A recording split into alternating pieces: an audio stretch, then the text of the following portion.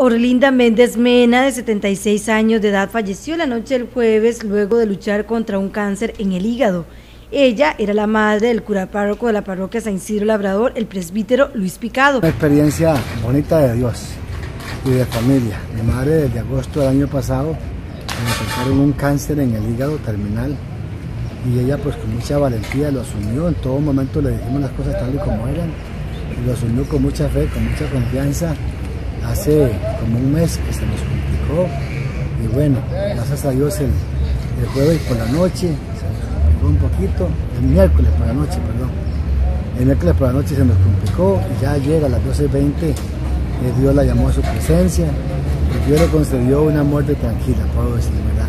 El padre Luis dijo que su madre asumió con mucha fortaleza su enfermedad. No sufrió, no agonizó muy fuerte y para la familia este, hemos vivido muy bonito esta experiencia, con mucho dolor, pero también con mucha confianza, mucha confianza en, que, en la resurrección.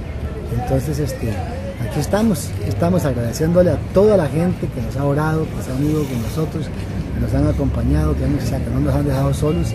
Y esta es la fortaleza para que en estos momentos de dolor sentir que, esa alegría, ese gozo nos dé la fortaleza.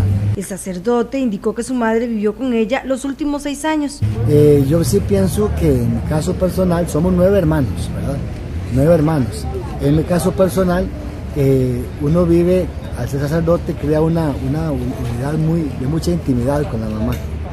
De manera que uno eh, llega a escuchar de la mamá, no, ellos son casados, aquel es el esposo, aquella es la esposa, este dice mi mamá, este es el mío.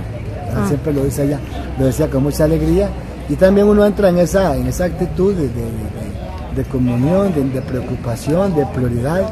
es mi mamá y ella vivió los últimos seis años, lo vivió conmigo en mi casita. La Eucaristía fue esta mañana en la Catedral de San Isidro del General y su cuerpo sepultado en el cementerio de Changuina de Buenos Aires de Punta Arenas.